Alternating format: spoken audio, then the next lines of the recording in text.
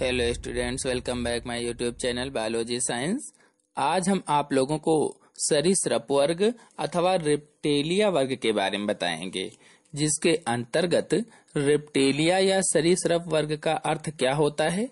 सरीसृप या रिप्टेलिया वर्ग के प्रमुख लक्षण कौन कौन से हैं?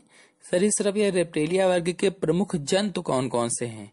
तथा उन जंतुओं का वर्गीकरण आवास, आकृति संरचना आदि के बारे में डिटेल में बताएँगे तो पूरी जानकारी के लिए मेरा पूरा वीडियो अंत तक ध्यान से देखिए। और यदि अभी तक हमारे चैनल को सब्सक्राइब ना किया हो तो सब्सक्राइब ज़रूर कर लीजिए। तो चलिए शुरू करते हैं। सबसे पहले रेप्टेलिया या सरीसृप का अर्थ जान लेते हैं। रेप्टेलिया का अर्थ है क्रीप, अर्थात रेंगना। कुल मिलाकर कहा जाए तो इस वर्ग में रेंगने वाले जंतु पाए जाते हैं। ये वास्तविक स्थलीय जंतु हैं। इनकी त्वचा शुष्क तथा सूखी और सल्क युक्त होती है। मीसोजोइक युग में लगभग 300 लाख वर्षों तक भूमि पर इन जंतुओं का आधिपत्य रहा। चलिए, अब सरिसृप या रिप्टेलिया वर्ग के कुछ प्रमुख लक्षणों को समझ लेते हैं। जिसमें से पहला लक्षण है, ये प्रथम स्थलीय जंतु हैं। अगला, इनकी त्वचा खुरदरी, शुष्क तथा सरंगित होती है। अगला, इनके शरीर के बाहर चारों ओर सरंगित सलकों का बना बाह्य कंकाल होता है।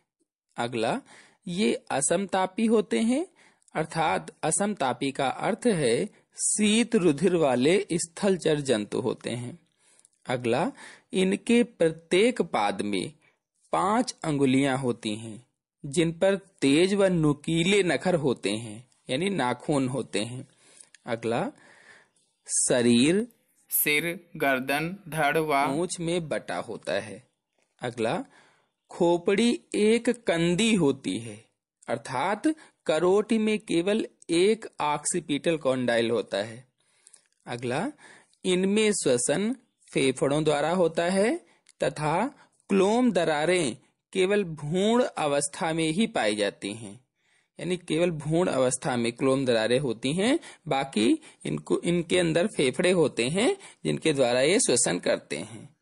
अगला, इनका हृदय आंशिक रूप से चार वेस्मों में बटा होता है अगला, इनके अंडे बड़े, पीतक युक्त तथा खोल युक्त होते हैं। चलिए, अब रेप्टिलिया या सरीसृप वर्ग के कुछ प्रमुख जंतुओं के बारे में जान लेते हैं।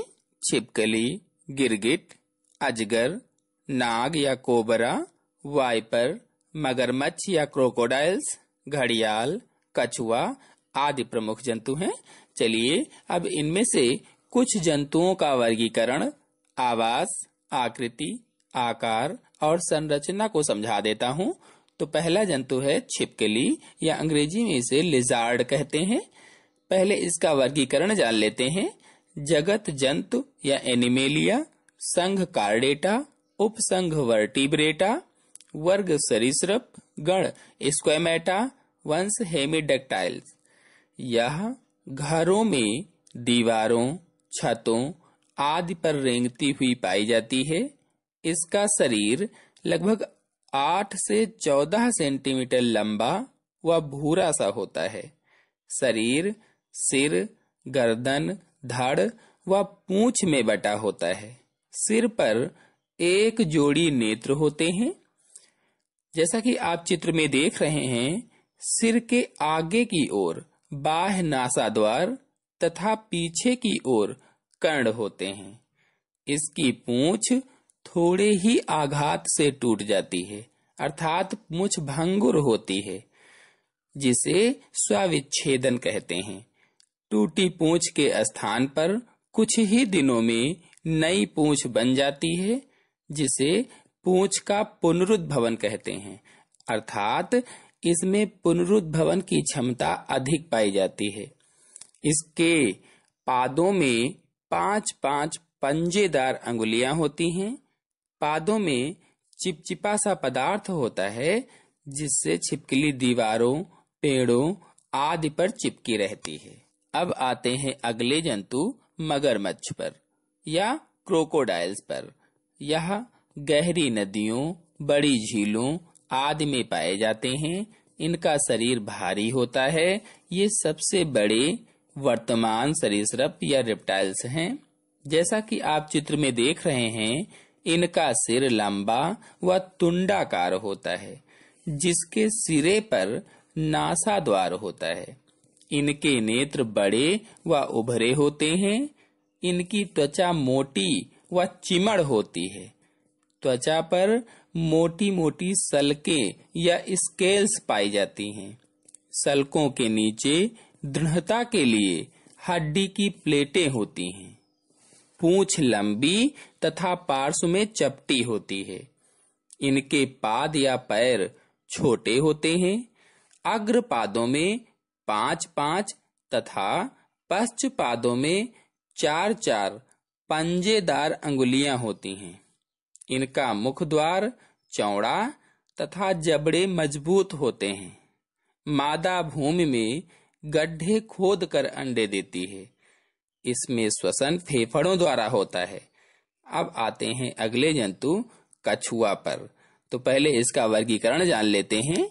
जगत एनिमेलिया, संघ कार्डेटा, उपसंघ वर्टिब्रेटा, महावर्ग चतुष्पादा, वर्ग सरिसृप, गण कीलोनिया, वंश ट्रायोनिक्स।